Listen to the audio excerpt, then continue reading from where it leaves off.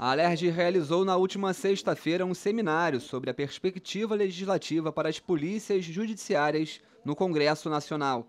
O evento que aconteceu no plenário da casa foi organizado pelo Sindicato dos Delegados de Polícia do Rio de Janeiro e contou com a participação de parlamentares e chefes da polícia de diversos estados do país. Vamos estar discutindo aí as políticas públicas, as legislações atinentes ao cargo de delegado e, também relacionadas à Polícia Judiciária. Tem colegas do Espírito Santo, Bahia, Paraná, além dos representantes do Estado do Rio de Janeiro, onde nós vamos discutir as principais pautas que estão correndo na Alerj e também em Brasília. A deputada estadual Marta Rocha participou do seminário falando sobre os projetos de lei que tramitam e que ainda são discutidos na Alerj e no Congresso Nacional, que tem a segurança pública e as forças de polícia como foco central. A parlamentar também destacou a importância do evento acontecer dentro do Poder Legislativo Fluminense, já que legislações federais também exercem influência nas políticas de Estado.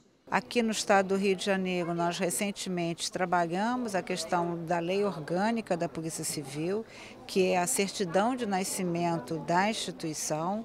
Agora, no Congresso Nacional, tramita a Lei Geral das Polícias, o que vai fazer, de alguma maneira, ter reflexos é, nas leis estaduais. Então, acho que esse debate que o Sindicato dos Delegados de Polícia com a Federação promove, eu acho que é extremamente importante para a gente entender também quais são as demandas que é, os policiais civis trazem, que embora o sindicato é, fale em nome dos delegados de polícia, mas em última análise ele luta para garantir direitos de todos os policiais civis. O presidente da Associação dos Delegados de Polícia do Brasil, Rodolfo Laterza, falou sobre os projetos de lei que estão em discussão no Congresso Federal.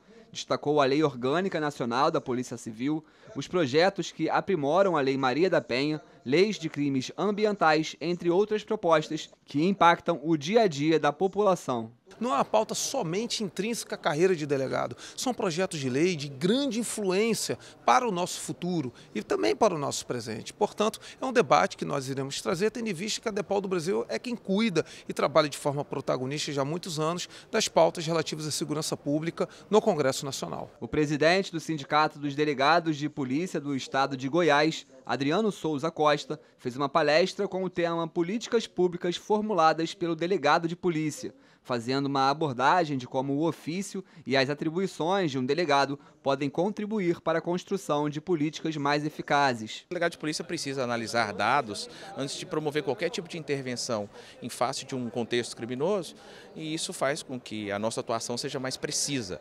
Então, quando a gente é, traz essa abordagem de que o delegado de polícia é um policy maker, alguém que faz uma política pública, é trazendo maior cientificidade para o trabalho dessa autoridade policial. O deputado Flávio Serafini também participou do encontro e trouxe para o debate uma discussão sobre a importância da valorização dos servidores e do fortalecimento das instituições como ferramentas fundamentais para o enfrentamento da realidade violenta que o Estado do Rio vive.